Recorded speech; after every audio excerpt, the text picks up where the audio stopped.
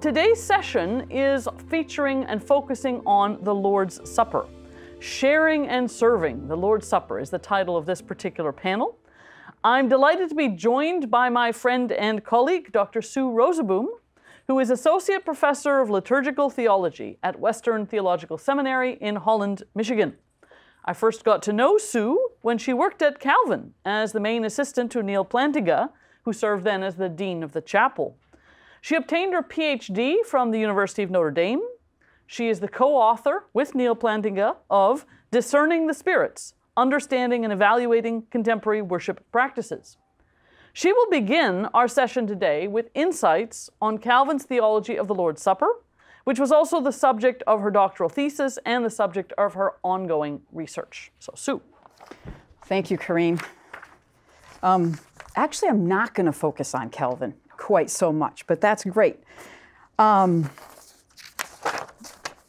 I have the extra handouts, so I'll put those here. I'll keep this one. So, the Lord's Supper in the Reformation era in 20 minutes. Fasten your seatbelts and hold on with a relaxed but ready grip. Here we go. Ultimately, the approach I would like to take in discussing different Reformation era doctrines of the sacrament of the Lord's Supper is a historical and a geographical approach. So, this is why you have those three handouts. One is a map, and you can see it's color coded according to some of the confessional traditions, the primary confessional traditions. And then another is what appears to be a very convoluted timeline. We'll sort that shortly. And then finally, um, a two sided collection of quotations. We don't have the map. The map Oh, I did not get a map. um, Let them look at the one over there. Just take a yeah, I don't know. We could pass that chart around. Right. I'll pass a marker with it. Karin would be so thrilled. no, um, and then and then yes, this two-handed, two-sided one with a number of quotes. The 16th century uh, featured an unprecedented proliferation of the publication of words, words, words. So I thought I'd follow suit. The Lord's Supper, or communion, or the Eucharist, as it is variously called, is often referred to as the sacrament of the church's unity. Welcome, come on in. Though a history of Christianity would suggest that it is the sacrament of the church's disunity.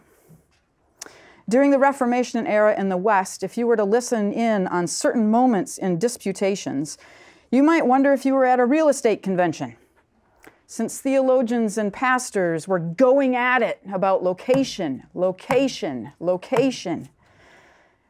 And of course, their discussion wasn't about a pleasant vacation property, but about the presence of Christ. Everyone agrees Christ is present with respect to the sacrament, but how shall we apprehend, and I use this word intentionally, how shall we apprehend, yes, with our imagination or our intellect, but as well as with our experience, the presence of Christ with respect to the sacrament. Where is Christ present and how? And how is Christ present to us? The sacrament of the Lord's Supper bears many meanings. The presence of Christ is but one facet of its meaning and significance. And yet, this facet became the primary sticking point for agreement or disagreement in discussions and, yes, disputations about the sacrament. And it's important to note that these disputes were not just for the sake of ecclesial or churchly unity, but also for the sake of political alliance. So, as you've heard during the last three sessions, the institutions of church and state in the 16th century were not separate anywhere in Europe in the 16th century. Uh, once movement toward reformation, or reformations, as Dr. Bierma helped us see yesterday, once those movements got rolling, leading theologians strove to agree for the sake of withstanding Catholic political pressure, or Lutheran political pressure, or other political confessional pressures. The last thing I want to say by way of introduction with respect to all of this is this. On the one hand, this divisiveness is deeply disconcerting. It's deeply lamentable that those who confess Christ could shed one another's blood over a sacrament about which Paul and these Christian traditions after him say, The bread which we break, is it not our sharing in the body of Christ? And the cup of blessing which we bless, is it not our sharing in the blood of Christ? So disconcerting. And yet, it seems to me we ought also to respect the sheer passion for the gospel that this profusion of theological ideas about the Lord's Supper expresses. So let's proceed with a little history and geography. So I invite you to pull out this handout, which you'll see roughly replicated here on the whiteboard. Um, yesterday, Dr. Bierma invited us to consider a continuum of divergence with regard to the primary confessional traditions in the 16th century. Divergence, that is, from the traditional, the medieval Roman Catholic Church teaching and its practices. And if we, I mean, this is a little bit of a caricature, right? But caricatures work because there's elements of truth in them. If we, if we put them on a continuum of divergence from conservative to radical, they fall out roughly Roman Catholic, Luther and most of his followers, Calvin, Zwingli, and then the Radical Reformation. But we would be making a very big mistake if we thought that this suggested some kind of chronological progression. You know, like, like a single individual grows, right? And their thought might change and grow, and it might move from being very conservative to more and more radical. But that's not at all the picture we get when we think about the chronology of the Reformation itself. So, what I invite you to do actually is look at this and notice the time, the, the dates go across the top, right? And I only put significant dates with regard to events or documents in the 16th century. But if you put lines straight down, so here's the beginning of the Reformation. Here's 1536. Calvin isn't even on the scene. Calvin is very definitely a second generation reformer. Prior to Calvin, there's this massive proliferation of materials and it's, it's really amazing to think about. And there's a book, I can't remember exactly who authored it, but um, Calvin in the book, in the Reformation. Yes, Jean-François. Thank you.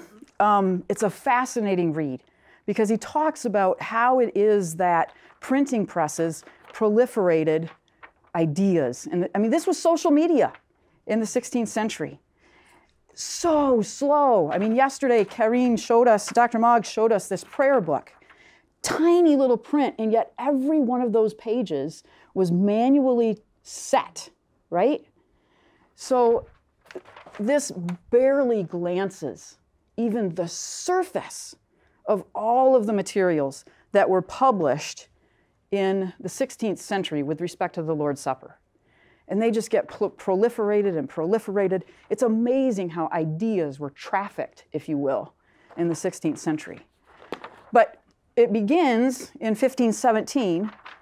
1517, Luther posts his 95 Theses. He's not a particularly prominent theologian in a very, not really a particularly prominent university, but he wants to start a discussion. He's not looking for reformation. He wants to start a discussion about practices that he's been observing, namely indulgences. And unwittingly, he inflames a movement his ideas progress, and in 1519, he publishes what he calls the Babylonian captivity of the church. And he says the Roman, the Pope, and all the popery have held the Christian church in a Babylonian captivity. and, and we need to be freed of this captivity. And his primary um, his primary concerns, especially with respect to the Mass um, in the Babylonian captivity, have to do with an understanding of the sacrament as sacrifice an understanding of the presence of Christ as um, corporeal, uh, the doctrine of transubstantiation, um, the introduction of Aristotelian terms, Aristotelian philosophical terms that aren't particularly biblical terms, but these are introduced in order to explain how is Christ present. So, again, I mean, in the Middle Ages, even when this is all developing, on the one hand, we can say, oy vey, why are they doing this? Why introduce all these terms? But I think behind it, we have to give them the benefit of the doubt and recognize that this is devotional passion. This is devotional theological passion. Um, and of course, this, this gets him in hot water. And by 1520, um, he's declared a heretic and he's exiled from the church. Um, Melanchthon is his protege. And Melanchthon picks up, so um, the Diet of Worms is uh, Luther has one last chance to defend himself at the Diet of Worms. And he says, I can't do it. I mean, I can't recant. I can't take back what I've printed. I can't take back what I've said. Um, I believe the church needs reform. So, um, on his way back to Wittenberg, friends scuttle him off to a castle in order to protect him. And while he's absent, Melanchthon continues some of his teaching in Wittenberg, but so does Karlstadt. Karlstadt, who becomes a radical. So already in 1521, we have what we would call the radical Reformation. And uh, with respect to the Lord's Supper, he too is adamantly opposed to any idea of the sacrament as um, sacrifice. Um, he's completely opposed to these philosophical gymnastics, if you will, that are used to describe how it is that Christ is present. Um, and he basically strips back the practice of the Lord's Supper to the words of institution and distribution. Um, he and then Munzer, who is also first influenced by Luther, and please understand, Karlstadt was one of Luther's teachers. Um, they,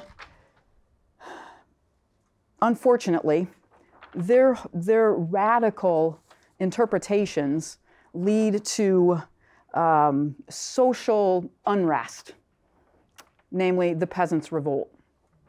So Luther is not in captivity, but sequestered in Wartburg, and he's knowing that this is happening and deeply, deeply disconcerted because that is not at all the direction that he wanted to go.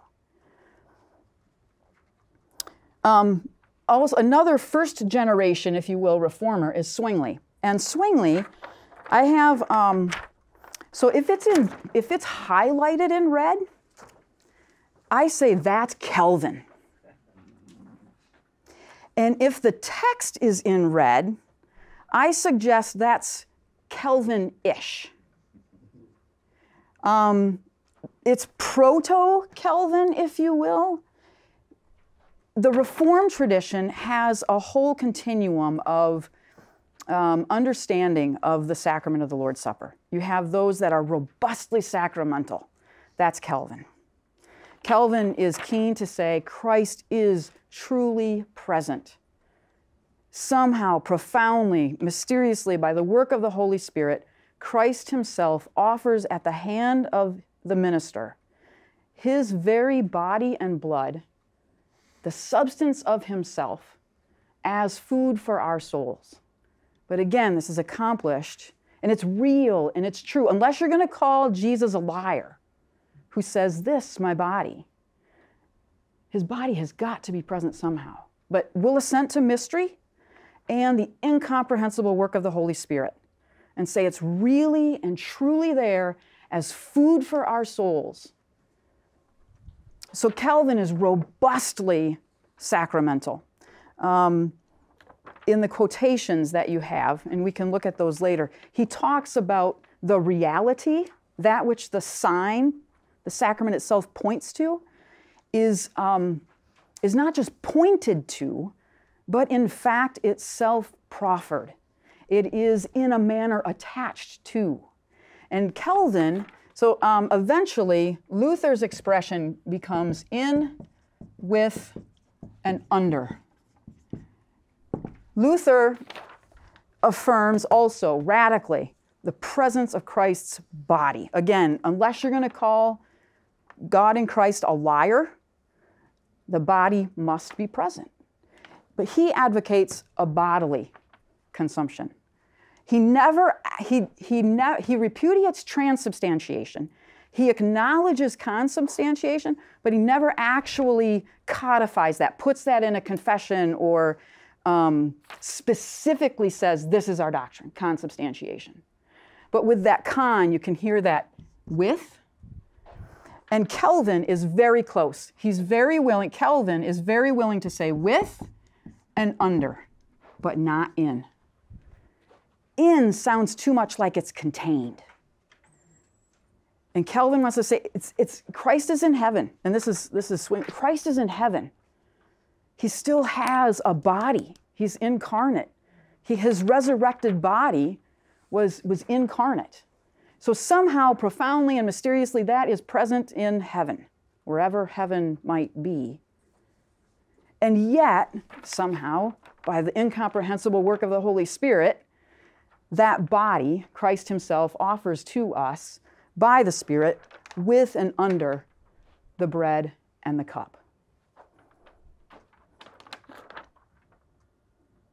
So these, these that I have in, and I don't actually quite have all of them, but in red text are proto Calvin. Okay, so Calvin is robustly sacramental, but then several of these are not so sacramental, and that would include Zwingli. But this is the continuum of the Reformed tradition. So you've got robustly sacramental, follow me? And you've got, oh, no, no, no, no. The sign and what it points to, the thing signify, those are two different realms and they do not intersect. So the sign points to the reality, but you cannot, Zwingli was very keen to say, you cannot bind the activity of God and the Spirit to this thing that the minister, this action that's taking place here.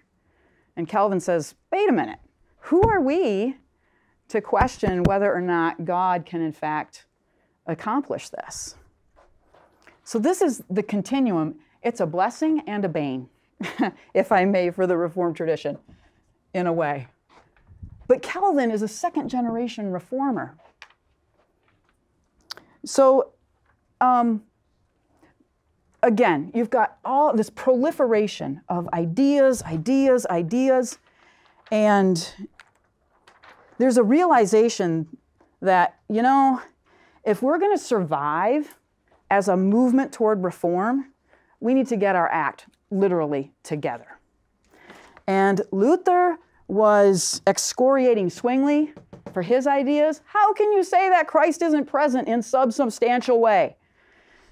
So Luther is excoriating Zwingli. Zwingli's more congenial, but he, he says, you can't go that route. Like it just, you know? So this is great. This is high drama. Um, Melanchthon and Bucer, who's these two guys are much more conciliatory. And they're recognizing, listen, if we're going to survive as a movement, we've got to get our act together. So they collude.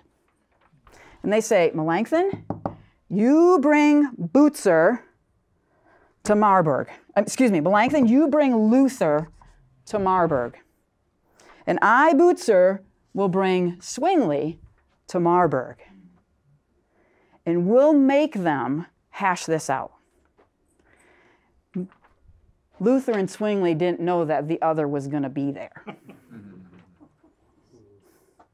and during the colloquy, I mean, Luther had an angular personality. He was a bit more volatile, a bit more in your face.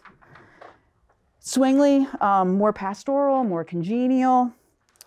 They generated, I think it was like 10 or 12 articles, all of which they agreed on with regard to the sacrament of the Lord's Supper. But what they could not agree on is location, location, location. And so the colloquy actually failed.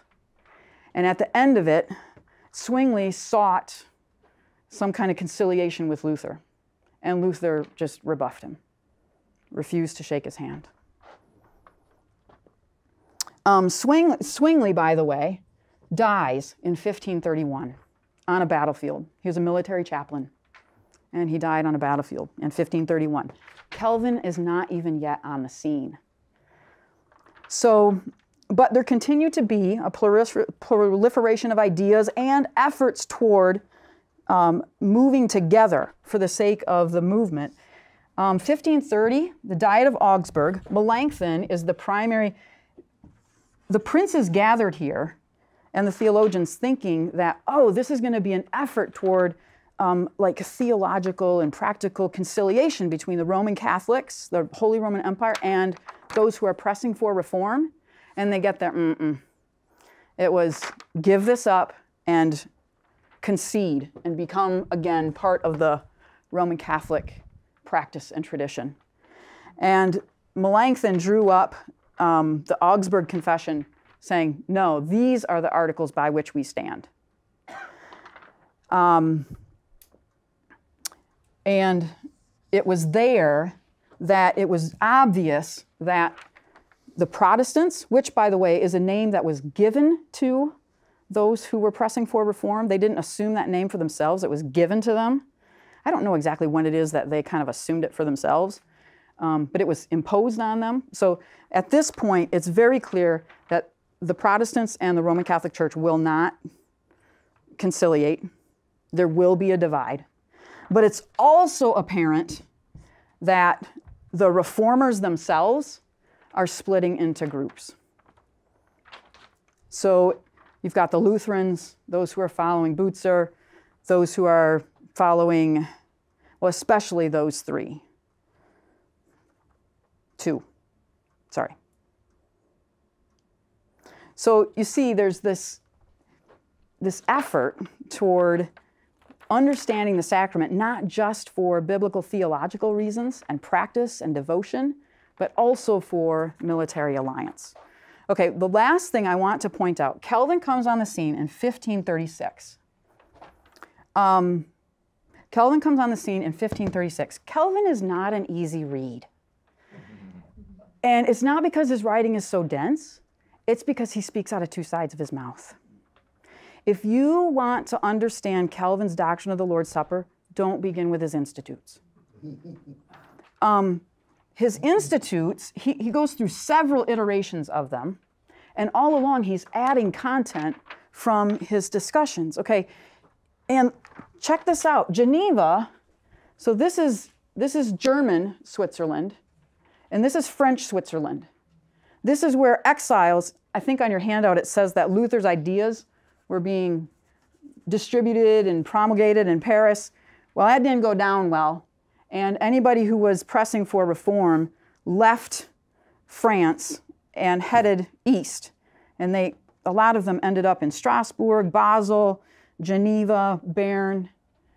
So in the Swiss, the, the western Swiss portion. Well, Geneva is hanging out here all by its little old lonely self in this Roman Catholic domain. And he's thinking if if worse, if the Roman Catholic Church and its political alliance start pressuring us, we need our own protection. And so he looked to the German Swiss. And it's in 1549 that he and Bullinger, Bullinger is Zwingli's successor in Zurich, he and Bullinger get together and they come up with the consensus of Zurich. And for a long time, scholars would say, the consensus of Zurich, that's really Calvin's doctrine. Read that one. And it's not. What it is, is really, it Calvin concedes as much as, this is as much as Calvin can say in order to, uh, to conciliate with Bullinger, but it doesn't say everything. So Calvin wants to say, Again, he's robustly sacra- sacramental, right? These gifts are instruments that God, the Holy Spirit, uses in order to accomplish what's promised, namely, Christ's body and blood being given our souls as food for the spiritual journey. He uses the word instruments. Bullinger cannot use the word instruments. He can't connect sign and thing signified in that way. So, this consensus of Zurich, Calvin is saying only as much as he has to in order to achieve this conciliation, but he's not saying everything. And it's in his defense of having signed on to this that you get more of Calvin's um, own exposition of what this means. And of course, then you hear Calvin as Calvin. Do you have a question? say that Calvin is robust and, and, and the, uh, the Zwingli person cannot get behind it. What's the reason why he uh, cannot shift? Again, it's because there's this concern that if, if um, you say this is an instrument of the Holy Spirit, oh, then you're saying that somehow the Holy Spirit is subject to the action of the minister and is being bound to the action of the minister in setting forth the celebration. Does that make sense? And Zwingli's like, oh, no, no, no, no. We can't, we don't want to bind the Holy Spirit to anything. But is that what Calvin is saying? Calvin is saying that um, Christ's promise is true. So when Christ himself, as host at this table, sets forth bread and cup for our communion and says, This is my body, he says, unless you're going to call Christ the host at this feast, unless you're going to call Christ a liar, somehow it has to be body. Somehow it has to be that this bread does, in fact, convey as my word, but communicate is Calvin's word. Somehow it does communicate Christ's body and Christ's blood. And the Belgic Confession, which is, I don't have it on here, I have it on here. And I have it actually like super red. It's way over here because it's robustly Calvin and says, um, you know, the, the, our, our souls feeding with the hands and mouth of faith. So faith receives, right? And if you stopped right there, you would think, whoa, this sounds, right? But our souls feeding with the hands and mouth of faith truly receive not an empty sign, not a naked sign. That's also a, um, a frequent phrase. These are not empty or naked signs, right? Um, our, our souls, feeding with the hands and mouth of faith, truly receive Christ's body and blood. And how can this be? The work of the Holy Spirit. I'm sorry, I'm not getting the difference Calvin and how it's transubstantiation. Um, so it's not transubstantiation because how far do we want to go? go for it. Go for it. I mean, for like, how about for a lay person? Yeah, so actually, let the Roman Catholic, no, let the Roman Catholic Church speak for itself. So take that other handout. Okay, so on this handout, let me very quickly finish. Um, okay, so I said that Calvin speaks out of two sides of his mouth. Let me quick finish this part, okay? Um, so the, that is Calvin speaking like a Zwinglian, more, more like this, right? And yet, um, this, this document, this best method, he's writing best method for securing concord, for securing agreement about the sacrament. He's writing to a Lutheran audience.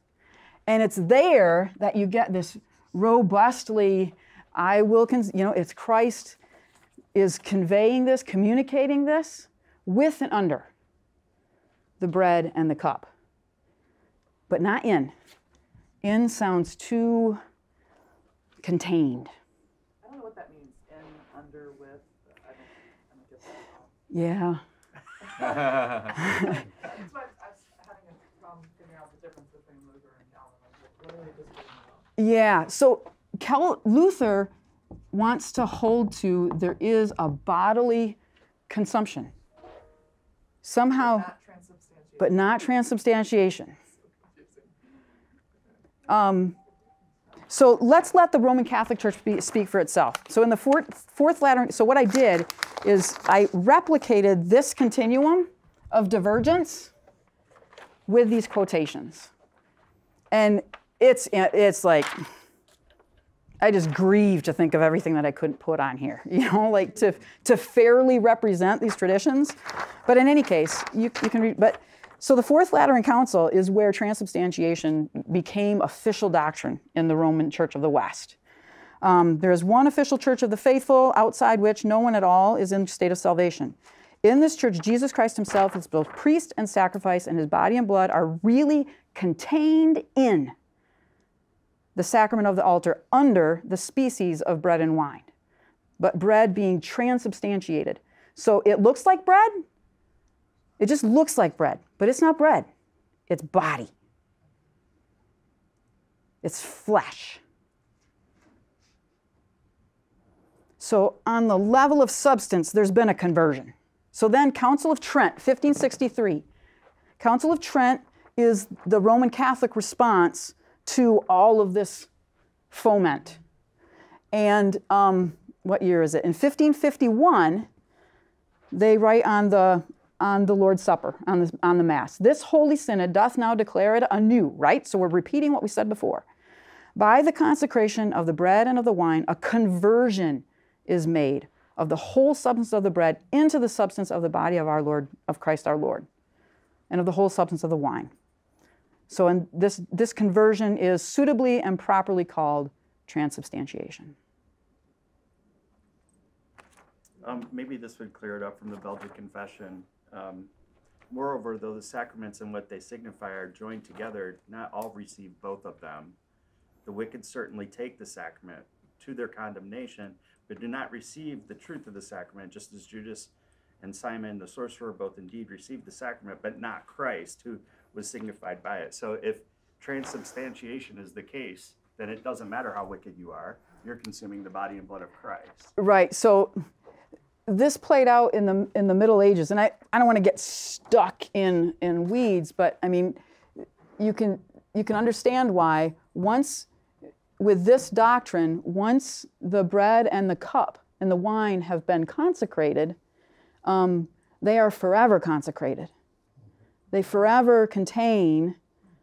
They're forever con- converted into the body and blood. So they must be consumed by humans. And then they would have these debates. Well, what happens if a mouse gets a crumb? Um, and what? That's the in, like super in, converted in, contained in. Yep. For just for just as the bread is changed into his natural body and the wine into his natural blood, so truly are we also drawn and changed into the spiritual body that is into the fellowship of Christ. Yes, it's still bread, and yet it's affording a bodily consumption of Christ's body and blood. Yep, yep, yep. It says that the bread is changed into his body and the wine into. Right. So. And that's and that's way here. And it may be that he, again, he may have tried to clarify and he may prescind from that just a little bit. But um, his concern is that there's a there's a bodily consumption still. But N- One Luther, it is still bodily, yep, but somehow different than transubstantiation. right, because it's not converted into at the a level of substance. Semantics, but not for nothing semantics. Like I said, we can only get paint chips, right? And these aren't even paint chips. Um, the Anglican Church is very interesting because, in terms of polity and practice, it's, it's somewhere over here. But in terms of doctrine, it's actually much more um, Zwinglian. It's reformed and even Zwinglian. So it's not easy to capture that because Cranmer himself didn't write a whole lot, but you have the Books of Common Prayer, which were generated in 1548 to 1552. Um, and so I, I cribbed from a really wonderful book. Do This in Remembrance of Me by Bryan Spinks, published in 2013. Uh, the Eucharist from the early church to the present day. And he does a really good job of just helping us understand the historical, theological context, as well as what's at stake in terms of um, some of these some of these conversations and discussions. Um, I think what I'll do is I'll close with the conclusion of though. Or, excuse me. Actually, yeah. So Farel is French. And in his, so he's in the middle of the second side. And Farel and Calvin worked together in Geneva. They were exiled. Calvin went to Strasbourg and then eventually came back to Geneva. Um, Calvin definitely was a, I mean, he obviously used Farel's liturgy. Um, and in the distribution of the bread, this is what Farel says the minister ought to say Jesus, the true Savior of the world, who died for us and is seated in glory at the right hand of the Father, dwell in your hearts through his Holy Spirit, by whose virtue, by whose power, he gives himself and communicates himself to you, that you be wholly alive in him through living faith and perfect love. So, do you hear the pastoral passion there? Like, I'm talking about all these debates and all that kind of thing. And there's ultimately, there is so much pastoral passion. Um, and I wish I could, I could share more of that with you, but I'll, I'll leave that for now. I think I ought to Thank turn you, it over to Thank you. Karin. Thank you for working your way through what is a very complex topic. Let me give you your notes so you have that. There you go. All right. So we are going to now move to the practice and how was the Lord's Supper, how was communion celebrated in these various churches in the midst of this complicated theology, right? What does it look like in practice? How does this actually work itself out? So, um, I want to start with some important questions. Where and when and how often should the sacrament be celebrated? That's already an important starting point. All right, well, it depended which confessional group you were part of. If you were Catholic, every time the Mass was celebrated, that was a celebration of communion, of the sacrament of communion. That was the heart of the Mass. That's what happens every single time. The priest consecrates the bread and the wine. It becomes the body and blood of Christ. And it is holy from that point on and venerated. Okay, it's very, very, very sacred. Important considerations then about how people receive the sacrament flow from the fact that it has been consecrated and that it is the body and blood of Christ for Catholic believers. If you were Lutheran, uh, your communion services would take place regularly. Um, in many churches, every time there was a Sunday service, there would be a celebration of the Eucharist. And this is a rather nice panel from Denmark, right? 1561. And you look at the church first, you think, well, that's kind of Catholic looking. There's the crucifix with Christ on the cross, there's candles, there's an altar. It feels very Catholic. But you would know it was Lutheran because if you look, they're receiving both the bread and the wine. And Catholics, until Vatican II, right, until the 1960s, only received the bread. They did not receive the cup. And here's why it's very holy, it's the blood of Christ, and a practical purpose of distributing elements to people. So the host is put, like this priest is doing, direct into the mouth of the faithful, whether you were Lutheran or Catholic, because it's holy. You're not supposed to be holding it, okay? They pop it into your mouth. But the cup, you can imagine the dangers of drips or dribbles or people, you know, somehow missing their aim when they're getting to the cup, and you do not want the blood of Christ on the floor. Okay, this is bad. So the priest would have the cup, the faithful would get the host, the consecrated wafer, and that was a full communion. That was considered a full communion. Okay? So you just have to understand how this works. So you would know this is Lutheran because both bread and wine. Okay, even the picture tells you that. And they're receiving kneeling. You see that? They're kneeling down to receive their communion. That's kind of how it's done. Okay, that's kind of interesting to see. Now, what if you were reformed? Well, if you were reformed, you had communion very infrequently, mostly at a quarterly celebration, so four times a year. Okay, so four times a year. What Sundays would they pick? Well, usually they picked the Sunday closest to Christmas, that's one. Easter Sunday, that's two. Pentecost, that's three. And then a Sunday in September because that's the next kind of relevant time. It's not connected to anything. Okay. It was very interesting as to whether, especially the Christmas communion, was directly connected in people's minds to Christmas itself. Um, Calvin did not want to see that happen, and Knox following him the same. They didn't want people to think of the December communion as being like for Christmas Day, because Christmas Day was kind of downplayed as a feast day of the Catholic Church, but not something that Reformed people should put extra emphasis on because of not so much we don't want to celebrate Jesus' birth, but because of what the Reformed leaders thought were superstitious practices that had emerged around the festivals of Christmas, all the partying, all the drinking, all that other stuff. You're not supposed to do that. So we're going to downplay that. So the Christmas communion was sort of disassociated, if possible, from Christmas Day itself. There's a very famous sermon by Calvin where he complains, interestingly, that too many people have come to church, which seems like an odd thing to complain about. But what he's complaining about is that people have come because they're honoring Christmas and not because they want to necessarily be in church to hear the sermon of the day. So he's kind of trying to reorient their thinking about how they're actually coming to church and why they're coming to church. All right, so if you were then reformed, you're receiving it maybe four times a year. Um, if you are a Lutheran, you can receive it every Sunday. In practice, people didn't necessarily receive it every Sunday, but it was offered regularly. The same was actually true in the Anglican Church. The Church of England, the Sunday worship would involve the liturgy of communion, but you did not necessarily have to receive communion every single time. So it's kind of a difference between how often is it offered and how often is it received. If you were Catholic, you had to receive at least once a year. And people wanted to receive and were asked to receive in a state of grace, which means they have to have done their confession first. So the big time for communion, receiving communion as a Catholic, was Easter, because people would do their Easter confession and then immediately go on to communion so they can partake in a state of grace. All right. So the practice of receiving communion regularly as a Catholic is a later development.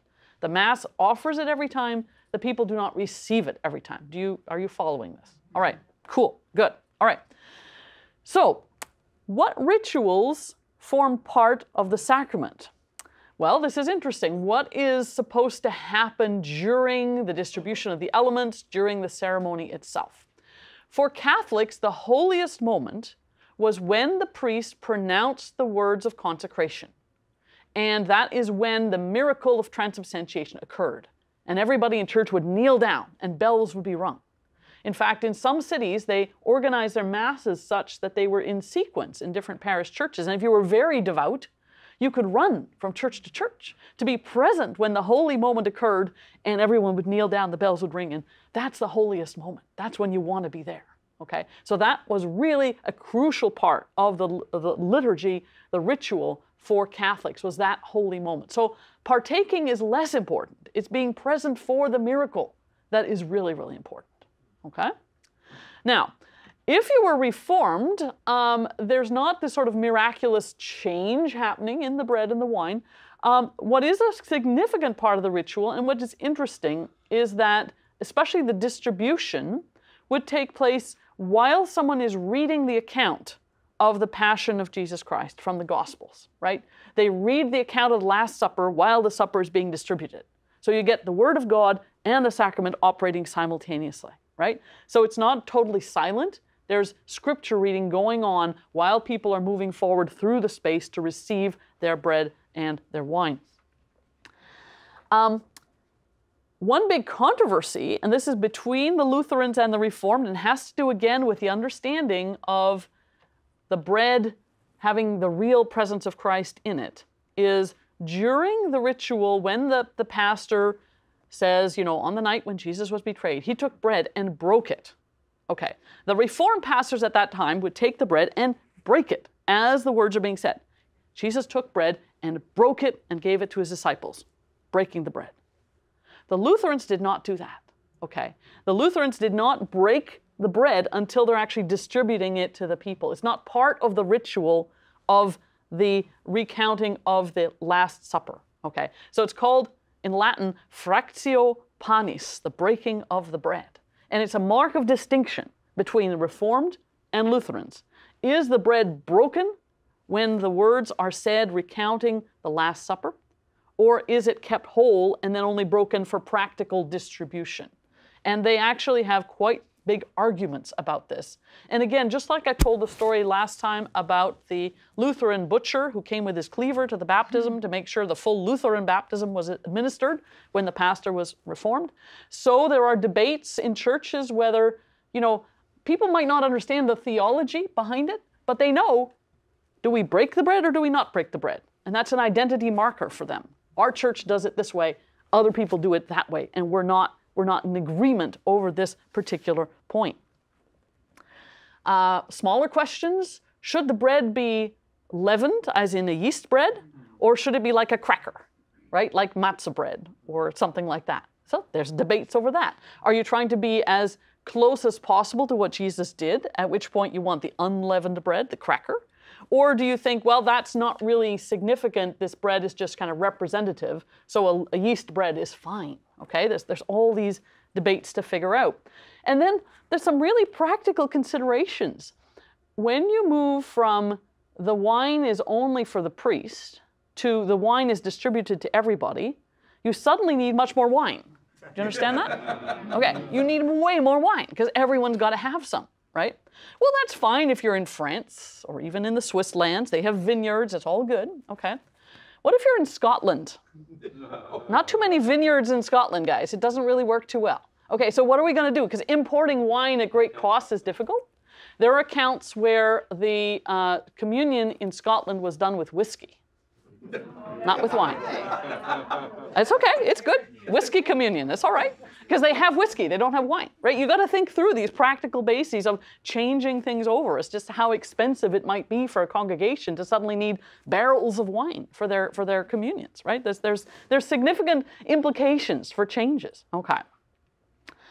Um, one other issue that was interesting was when the when the bread is distributed. So you imagine a congregation. Imagine a big congregation. Like think like 600 people.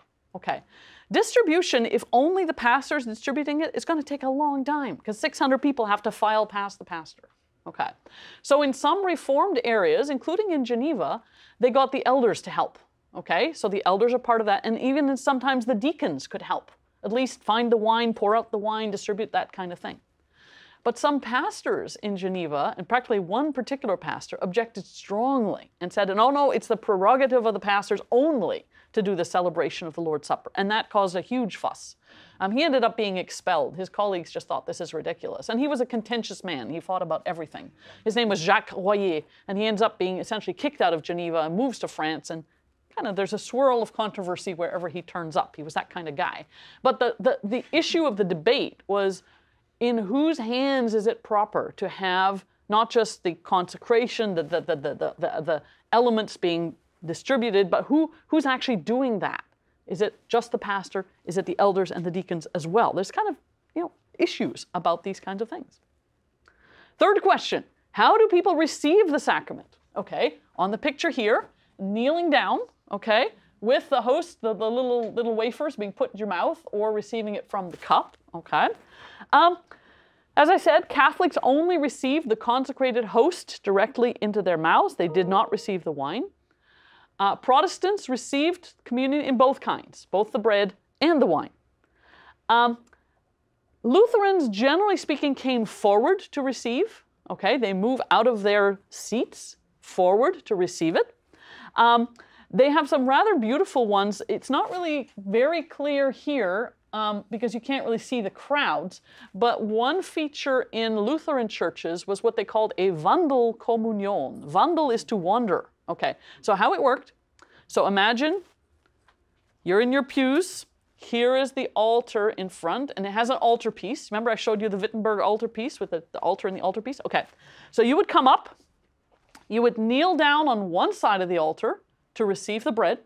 Then you would get up on your feet, you would walk around the back of the altar, and come back over here on the other side now to kneel and receive your wine. And so people can kind of move through stations. That does usually require two pastors, right? One to give the bread on the one side and one to give the wine on the other. So just the, the logistics of distribution is, is kind of a fascinating question. How do you actually do that?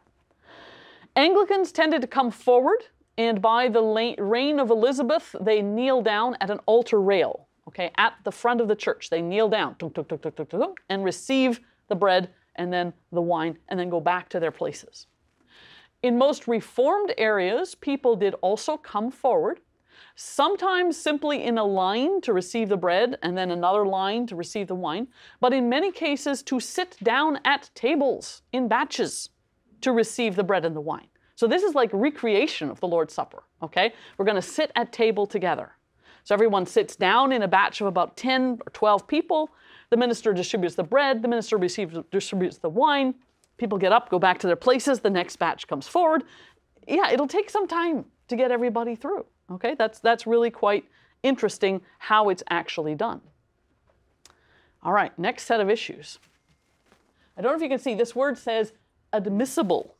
This is a communion token, okay? We're going to talk about those in a moment. How does that actually work to get access? So, across the board, religious authorities wanted to make sure that when people received communion, they received it because they were worthily doing so.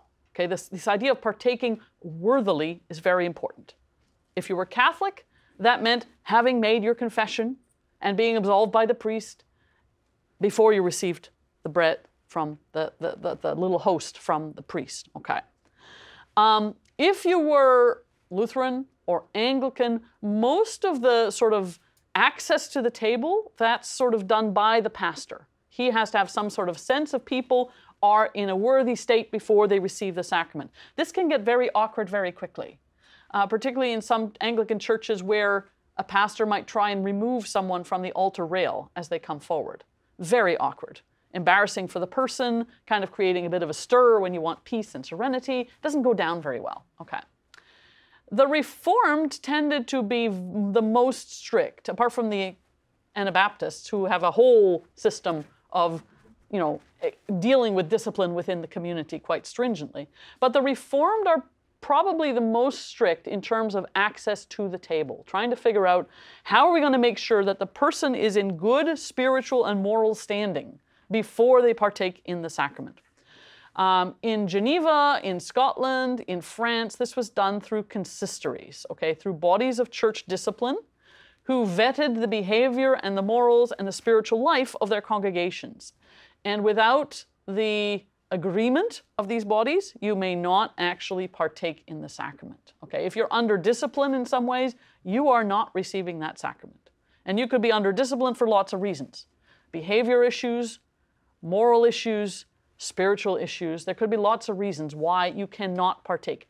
Um, in Geneva, most cases, the, uh, the bar in receiving was temporary. In other words, the idea is that you fix the problem and then you can receive next time.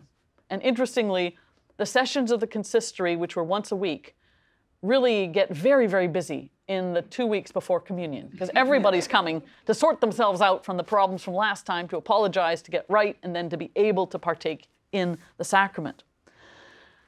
In cases where there were big congregations or people were not necessarily 100% able to confirm, you know, everybody's status, the use of communion tokens was a way to make sure that folks had been vetted. Often people would get their tokens because before the quarterly communions, there would be a visit from the pastor and an elder. And that elder and pastor would verify their spiritual knowledge, their moral behavior, you know, that there's no particular problems, and then would give them a token okay? And when you come to church for communion, you hand in the token and that allows you in. Do you understand how that works? Okay. When I was in Scotland doing my graduate work, and this was in the early 1990s, um, we still had that. Not with tokens, but the, the elder would visit. I got a visit from my elder like every quarter, and he would give me a little card at the end, little like a like it looked like a business card, but that was the equivalent of the token. Now I never had to show it in order to receive it. It wasn't like they wouldn't let me come if I hadn't had it, but it was it was the remnant of that tradition, okay? Of having the token in order to partake, and that was definitely important. Now, some people who had a very strong moral sense would of themselves abstain from communion if they did not feel that they were worthy, okay? because they're having a problem, a quarrel, some kind of spiritual issue. They would sit it out.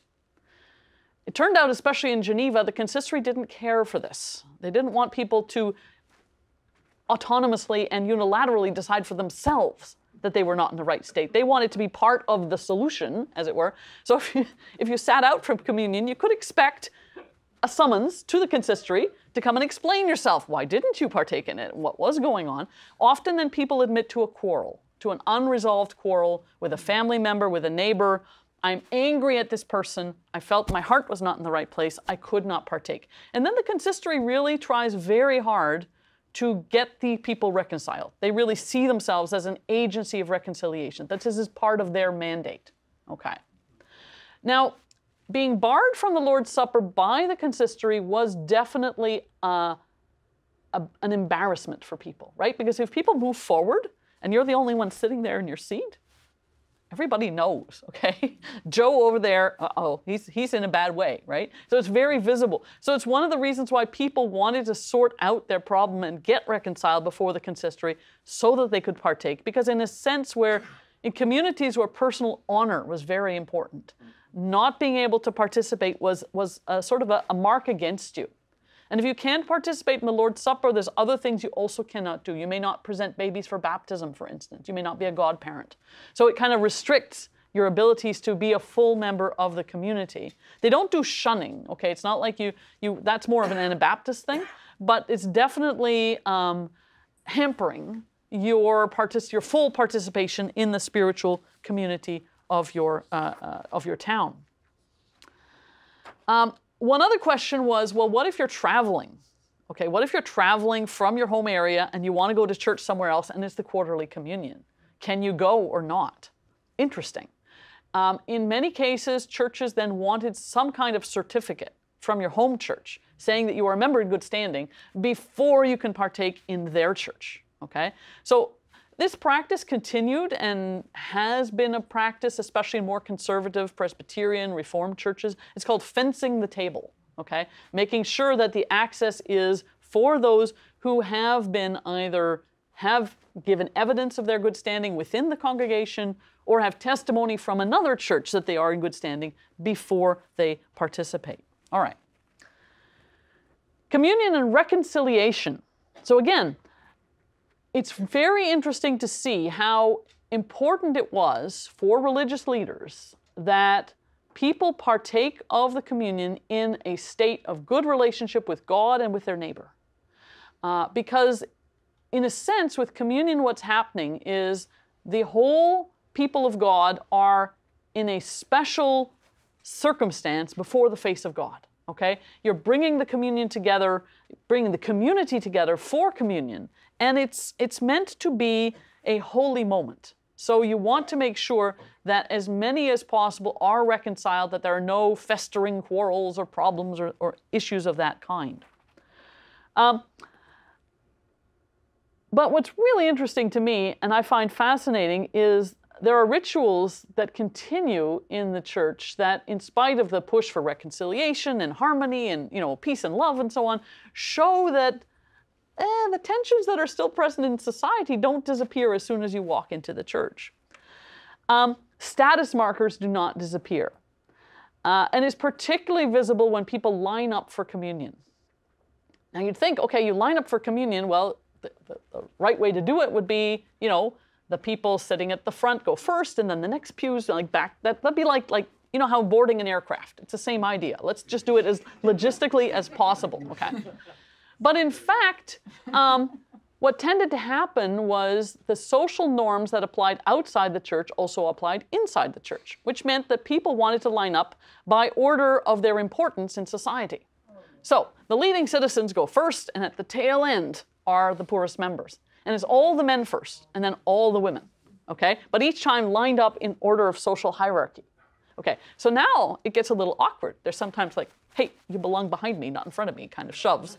Um, and there are cases where um, a certain nobleman would be coming up for communion and ordered that his wife should come immediately behind him because he's got status and she's got status. But she would then be ahead of all the men, and that's not possible. So there's a little bit of, you know, shove shove going on there. Um, and then, really interesting issues where the norms of the church and the norms of society might clash. And this happened in France.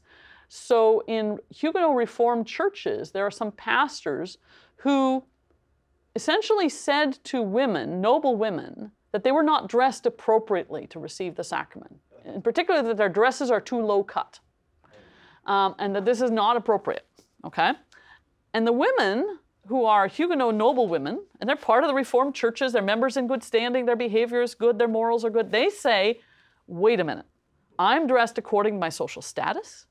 I'm dressed the way my husband wants me to dress, which is a pretty powerful argument in a patriarchal society, right? And you cannot tell me that I'm dressed inappropriately because I'm dressed according to the status that I live by, right? So, kind of, do you see here a tension going on between the pastor's ideas of morality and proper behavior, and especially these women coming forward and saying, no, no, no, my dress is not an issue here. You still need to admit me, you still need to allow me to partake. It's kind of interesting. By and large, the pastors were forced to back down and allow these women to partake. Uh, they were not, their protests or their complaints were not upheld by the next level up in the church. They were told, no, no, these, these women can go ahead and, and partake. Now, one more issue I want to talk about, because I find it very, very interesting, is the question of communion for the mm-hmm. sick and the dying. Mm-hmm. Okay. Is it lawful? Is it appropriate? Is it permissible to bring the sacrament to the bedside of someone who is sick or dying? If you were Catholic, no problem. That's actually expected. It's the last rites, right? You know that. Mm-hmm. Extreme unction. This is what happens when you're on your deathbed if you're Catholic. Faithful Catholic, the priest would come, anoint the person, right? Give them a last communion, okay? Pray over them, the whole nine yards. It's like totally what happens. It's exactly what happens. Um, in fact, in areas where there were confessional tensions, this is one of the points of tension because when the priest is coming to someone's bedside with the host, right, it's consecrated host, everybody's supposed to, you know, bow, right, or kneel down while the host goes by because it's holy, right? This is the body of Christ. And Protestants would not do that. And then there was, again, friction, uh, problems in the streets even. If you were Lutheran or if you were Anglican, yes, it is possible and indeed perfectly okay to have a communion at your deathbed or at your sickbed. There's, there's provision in the Book of Common Prayer, provision in the Lutheran church orders to bring the sacrament to the bedside of someone who cannot come to church for illness or because they're dying and so on and so forth. Generally speaking, the church orders for the Lutherans and the Anglicans did say that it should be more than just the sick person participating. In other words, you should have a community having communion by the sickbed or by the deathbed. Okay, not a private communion, they're a little not sure about that, but the household becomes like a mini church, okay? And that's where you can do the sacrament, and that's just fine. You can go ahead and do that. The Reformed were very much more divided about this one issue. Is it okay or is it not okay to bring communion to the bedside of someone who is sick, like not just a cold sick, we're talking like sick in bed, can't get out of bed sick, or someone who's dying? Right, on the one hand, there were those who said, no, this is not okay. They said communion is only ever supposed to be in church with preaching, with the whole community present.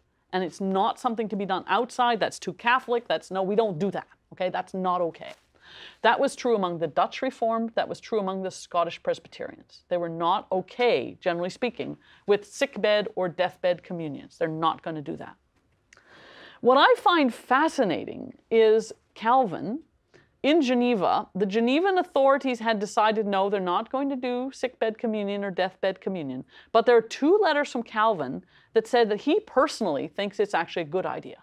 He's in favor of it. Okay? He says pastorally, for the comfort that it brings, for folks who cannot come to church, for folks who, you know, miss that comfort, that it is okay to bring them communion. He says ideally on the same Sunday as when the quarterly communion is being celebrated in church, because then you're kind of like just doing an extension of that.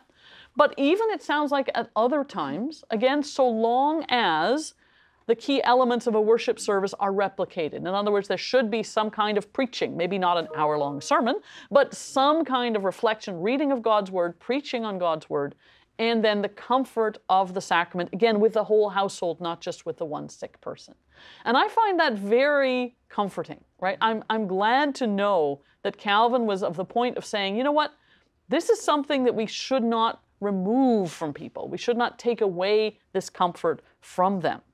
Uh, but as I said, other Reformed groups firmly rejected it. The Synod of Middelburg in uh, the Dutch Reformed rejected it firmly in 1581. The Scots Presbyterians also, no, we don't do this, this is not okay. Um, but it's a really important question, I think, because it comes to the pastoral side of the sacrament, right? What is the purpose of the sacrament? And the comfort that it brought to people, I think, is something we don't want to forget. Amid all the theological discussion, we want to try and remember well, what's at the heart here, right? It is the comfort of the presence of God, right? However, it's understood. It is the comfort of the presence of God strengthening you, feeding you, preparing you for all that lies ahead. And that, I think, is what needs not to be for, for, forgotten. Okay, time for questions, discussion, things you're still wondering about.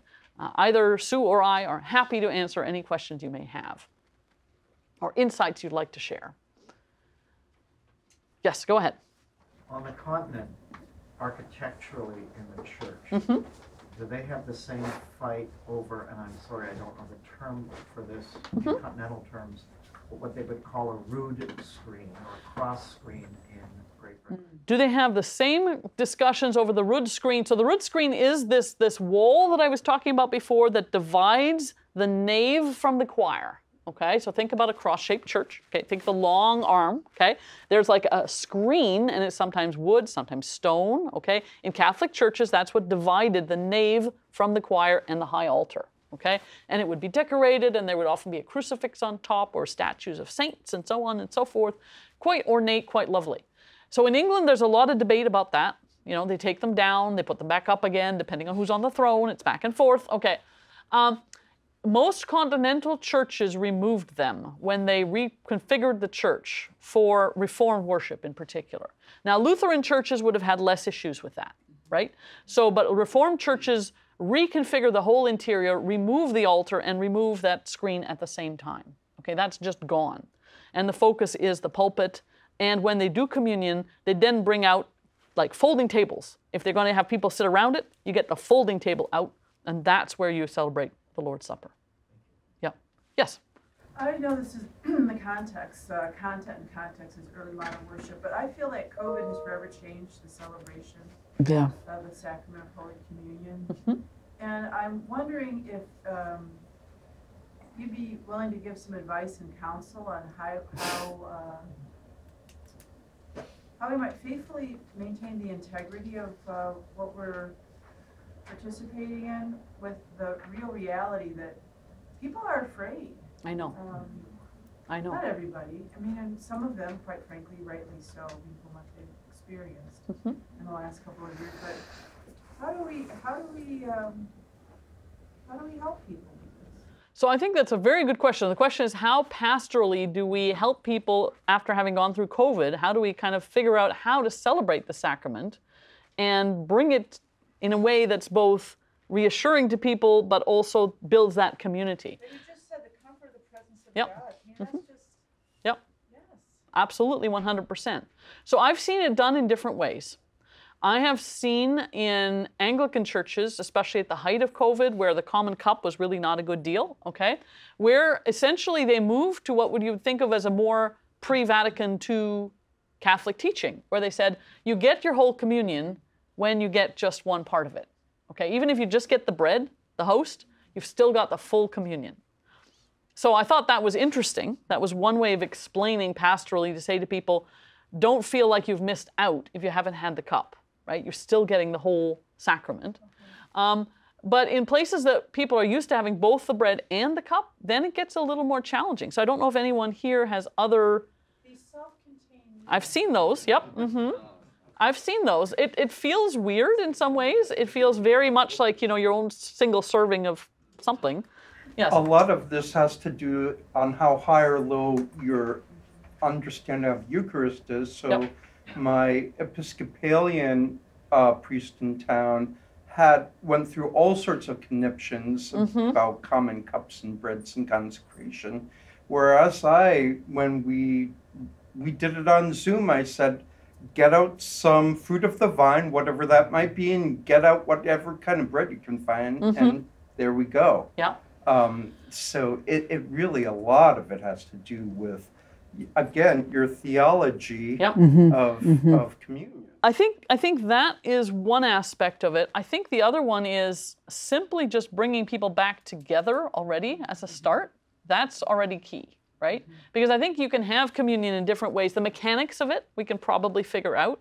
What we've lost, I think, during COVID is the sense of we are the body together in the presence of God. And that's what I think a lot of churches are still struggling with, honestly. John. Just another, another point that's worth remembering is that ideal theological and ministerial and pastoral practice is one thing, but the church has always had a category, often not well advertised, even at seminary, for emergency theology. Yeah. Sometimes you do things this way because it is the best you can do. So Yep. there are categories for emergency baptism, and uh, so I told some of my students we have now we have to look a category for emergency Eucharist mm-hmm. and recognize this isn't ideal, but you know explain it to the people and then move forward with it. That's really very helpful. Yeah. Mm-hmm. Go ahead. I- I'm intrigued by the same kind of question. What do we do now and what were practices in the past that, that have that sense of community? I had never heard about the Reformed tradition coming forward and sitting together at tables. Um, so I'd like- is there I've seen- like Yep, that? yep. I mean, even my church here. So I go to Woodlawn CRC that meets here on campus in the University Chapel. You've been in that space probably. It's like the big round, where you were like a couple of days back for for Vespers. Okay, and our church, the table is there, and it can seat maybe about ten people. And not every communion. We have communion once a month, but not.